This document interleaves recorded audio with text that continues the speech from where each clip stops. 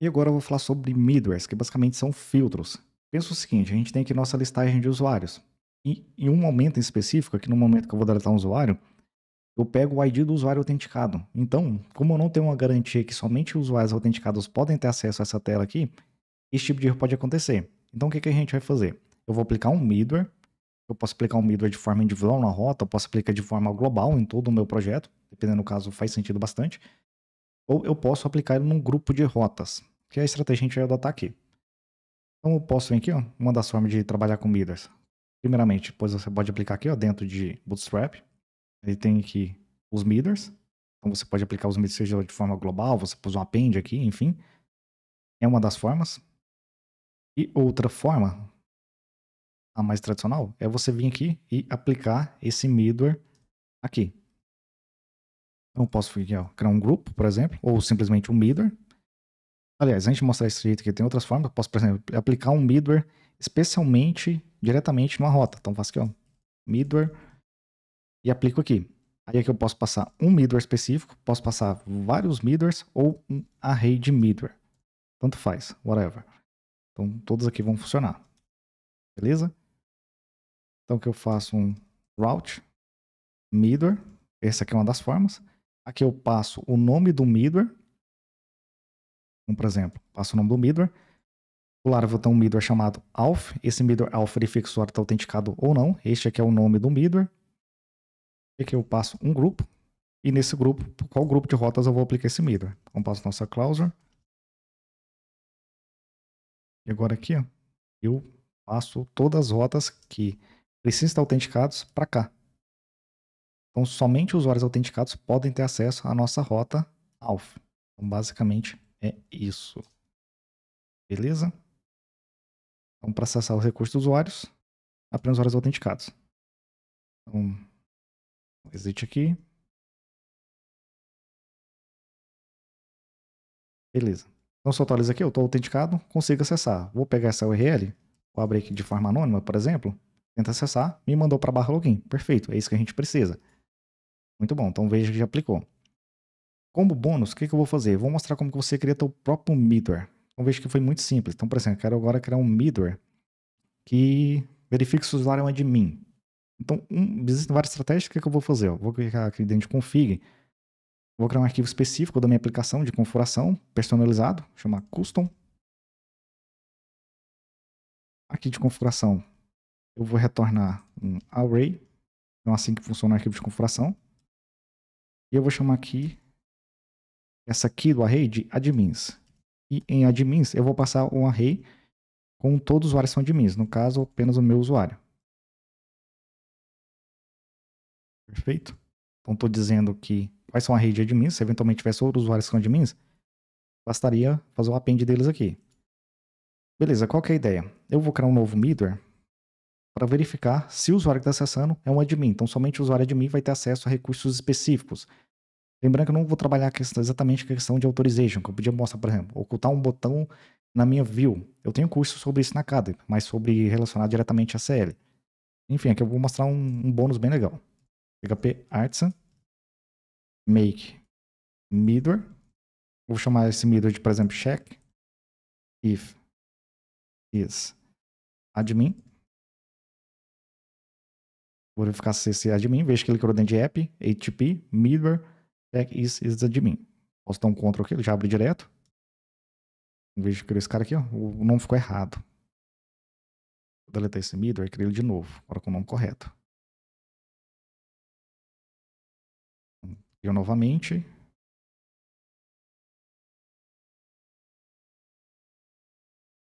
Criou de novo. Agora sim. E aqui no método handle, eu vejo que eu posso pegar os dados da request. E aqui o next é para continuar a requisição. E a gente retorna o response. Esse next por si só retorna o response. Então é bem intuitivo. Então antes de chegar aqui, o que, que eu posso fazer? Ó? Posso fazer isso aqui. Ó. Se o usuário é autenticado, então aqui é importante, antes de utilizar esse cara, eu verifico se o usuário está autenticado. Como a gente pega o usuário autenticado? Utiliza a facade auth ou wrapper auth e user e aqui no user, lá no próprio model user, eu podia ter um método para falar assim, is not admin, ou eu posso verificar aqui mesmo, tanto faz. Aqui eu posso pegar o e-mail do usuário, Eu acho que fica mais interessante eu ir lá no nosso model user, criar um método aqui, ó, fica até mais interessante. Que fala se esse usuário específico que eu estou lidando, ele é admin ou não. Is admin. Ele vai retornar um, um boolean. Então, como que eu sei se o usuário é admin? Eu faço aqui, ó, return, vou verificar se o usuário está no array, em array. Então, no array, a gente passa o valor, então passa o próprio e-mail do usuário e verifica se está lá na nossa configuração, nosso arquivo de config, então passa o nome do arquivo de config, chama custom.admins. Então eu verifico se o e-mail do usuário que eu estou verificando está nesse arquivo de config, tá naquela array que a gente criou lá. E aqui, ó, eu simplesmente faço um is, é o nome que a gente criou aqui, ó? is admin. Admins não, is admin. Is adm. Então pega o usuário autenticado, verifica se ele é ADM. Aqui está dando erro porque ele não consegue interpretar este nosso método do nosso model. Sem problema.